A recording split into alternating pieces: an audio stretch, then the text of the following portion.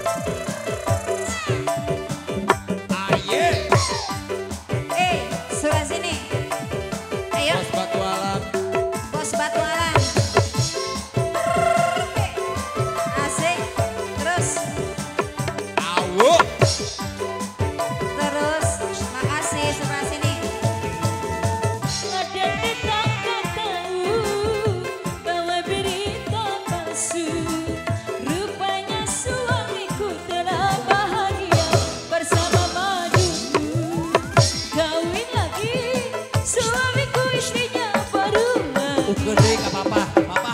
Stres lagi. Stres lagi. Kawin lagi. Suamiku baru lagi. Stres lagi. Aku stres